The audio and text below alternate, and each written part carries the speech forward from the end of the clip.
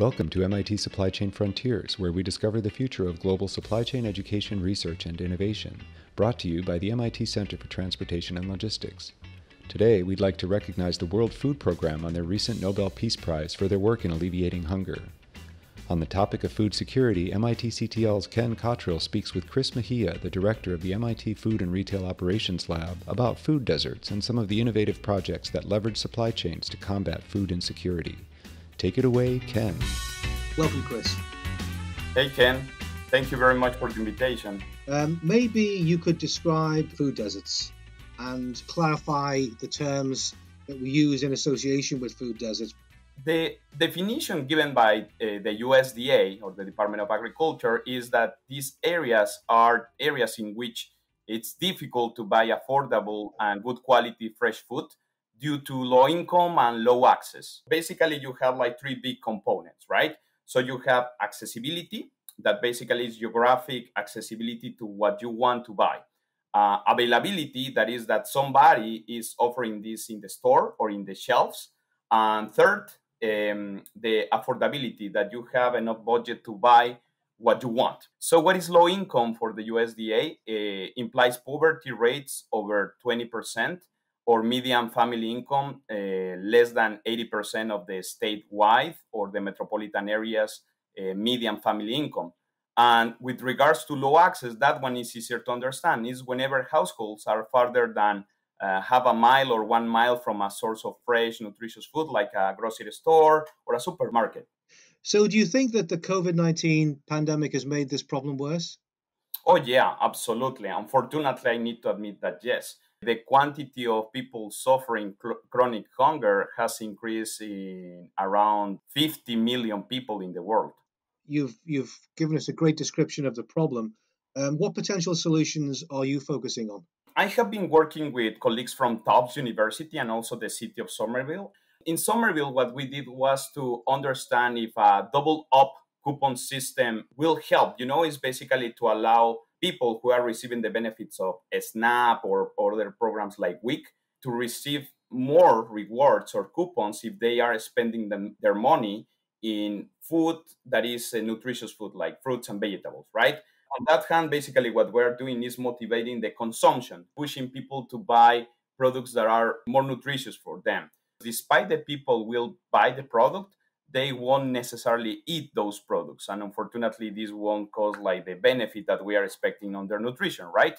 So we move into more, let's say, uh, logistics alike uh, systems like ride sharing systems, you know, with ride sharing systems that will let's say get you from your home to the nearest or the closest uh, grocery store or um, supermarket for you to buy your groceries there your fruits vegetables and other nutritious food but one of the issues that it will cause is that it's eroding local economy. Given the pandemic the other ones who are suffering the most besides the vulnerable population segments are also these uh, micro and small firms owners right?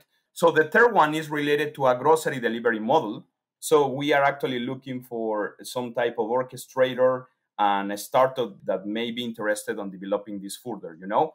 Last but not least is the what we call the veggie box model that is different to the CSA or the community supported agriculture because this is hand-picked products by directly by the farmers and this will be delivered not directly to the consumer but uh, to let's say conveniently located pickup points like neighborhood markets, nano stores, or mom and pop stores. And actually, the idea is to uh, create like very food balance boxes at an affordable price, so that vulnerable population segments can have access to those. And they need to, you know, just walk a little bit to pick them up instead of us doing all the logistic challenge of transporting them up to the doorsteps of the end consumers or the households. Yeah, you know, as you, as you're describing these many variables, um, it becomes clear, doesn't it, that supply chain management is absolutely critical to the efficiency of these food access models. Um, maybe you could just talk a little bit more about the role of supply chain management um, in in these solutions. So basically, I think that the role of supply chain management logistics is uh, key here because if you think about how most of the supply chain systems have been configured, most of them are are actually push inventory based, right? So you right. start at some point and you start pushing all that inventory to the next, let's say, stakeholder. So you start in the growers or the farmers, and you push this to the processing company or processing plant, then to the DC of that plant, then to the distributor, to the wholesaler, or many distributors in between, then to the retailers, and then to the end consumer. So the only part where you are like motivating the pull strategy is between the retailer and the end consumer or the household, right?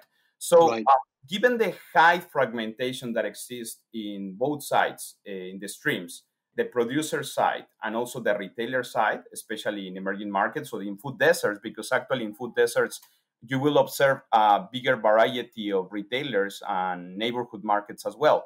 So, this atomization, let's call it, will create plenty of opportunities. And if we mix that with the uh, multiple customer segments that we can create, well, that's that's going to be very complex, right?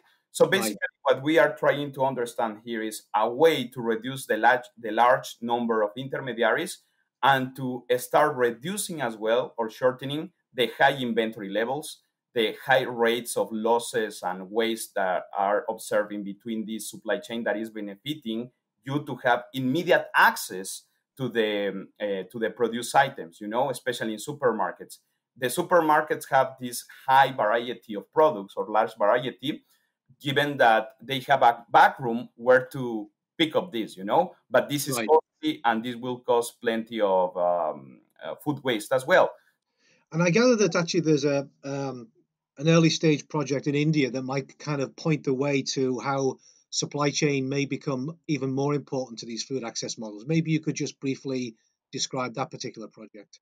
There is a, a public distribution system called the PDS that depends on the government and currently is only promoting the consumption and the availability and accessibility with rice. So the kilocalories are going to be great, but unfortunately, uh, other micronutrients are not going to be reasonably good or at least in the minimum requirements. So I'm talking about like zinc, magnesium, vitamin A, etc. So, yeah. so, so I started developing a thesis in India uh, together with a talented student, and well, basically what we are trying to understand there is how to configure the food combinations inside that grain basket, let's say, to allow the Indians to also thrive and continue growing their uh, micronutrients levels, but using different food combinations. And we also want to consider what is being harvested or grown in different districts as well to promote this local to local consumption, as I mentioned before.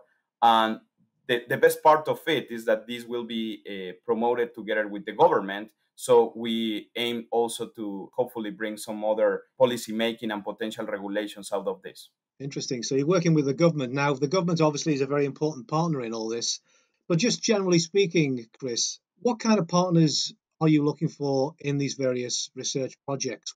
The vision of the lab is to create effective uh, supply chain strategies to match this dynamic consumption behavior to the different distribution channels to ensure product accessibility, availability, and affordability. And what I have seen in different countries is that there is plenty of capacity, idle capacity, and probably if uh, those people or those organizations have an idle capacity in terms of the fleet, in terms of some type of infrastructure, etc., if all of us collaborate together, maybe we can, you know, go out quicker from the from the current situation. Um, are you optimistic that uh, you know post pandemic uh, some of these solutions will actually be implemented and will make a difference? The answer is yes, uh, given the pilots that I have uh, developed with several colleagues in Latin America and also here in the United States, considering the logistics component in detail, you know. So I'm really confident and optimistic that uh, most of these solutions are implementable. I don't know if they are going to be successful. Otherwise, I will be probably billionaire, right? if I can predict what is going to happen. But for sure, this is going to help us tackling this big issue for sure.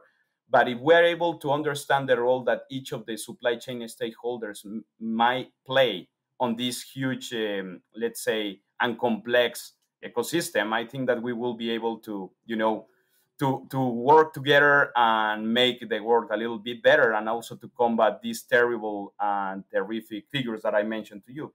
because just to wrap up, currently the cost of the food malnutrition is huge. It's actually around 5.5 trillion dollars annually. So it's 7.5% of the world's GDP, just to give you an idea. So, and uh, actually, there are uh, many people suffering malnutrition, around almost 3 billion people. So, in different, different, let's say, types of food insecurity, moderate or severe. So, we really need to change this, you know, and I really aim uh, to, to, well, to contribute a little bit to make these changes, hopefully.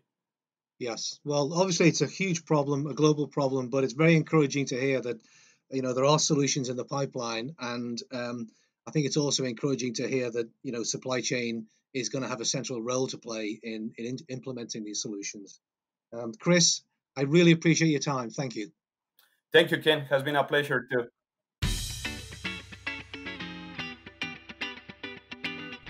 All right, everyone. Thank you for listening. I hope you enjoyed this edition of MIT Supply Chain Frontiers. My name is Arthur Grau, Communications Officer for the Center. I invite you to visit anytime at ctl.mit.edu or search for MIT Supply Chain Frontiers on your favorite listening platform. Until next time.